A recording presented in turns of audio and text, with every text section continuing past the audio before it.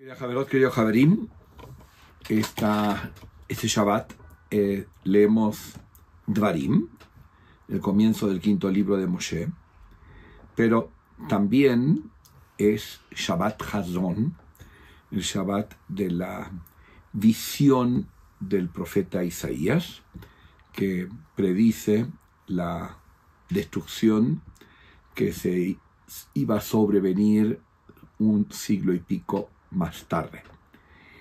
Y Shabbat Hazon es el Shabbat anterior a Tisha B'Av, al ayuno donde recordamos la destrucción del templo, de los templos.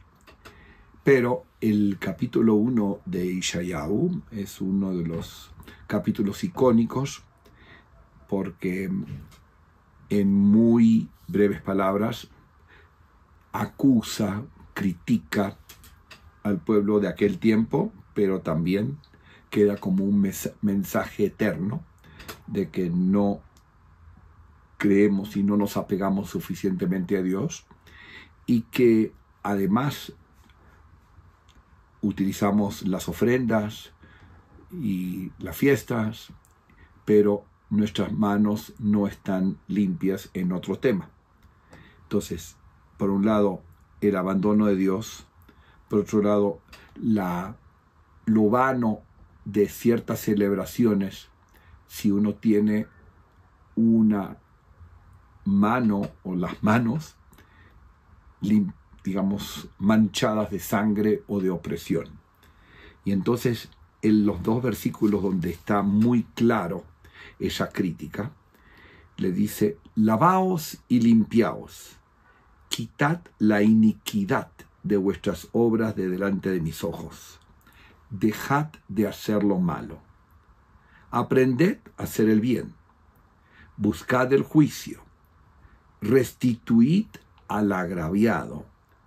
Haced justicia al huérfano. Amparad a la viuda. Es decir, que además de hacer el mal, explotar a otras personas, ayudar al segmento más débil de la sociedad, que en este caso son las viudas y los huérfanos en cada sociedad va cambiando quién es el segmento más débil.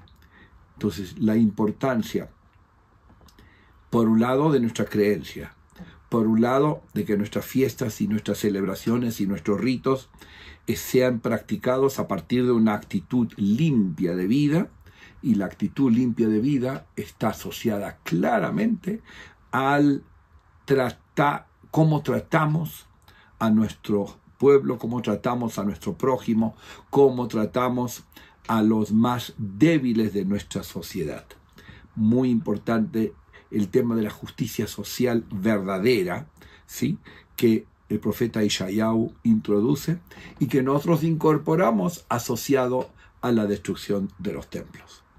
Que cada uno de nosotros tratemos de hacer cuanto más el bien y de alguna manera está en los salmos lo resumen, surmerá, aléjate del mal, va a Seitov y haz el bien. Shabbat Shalom, un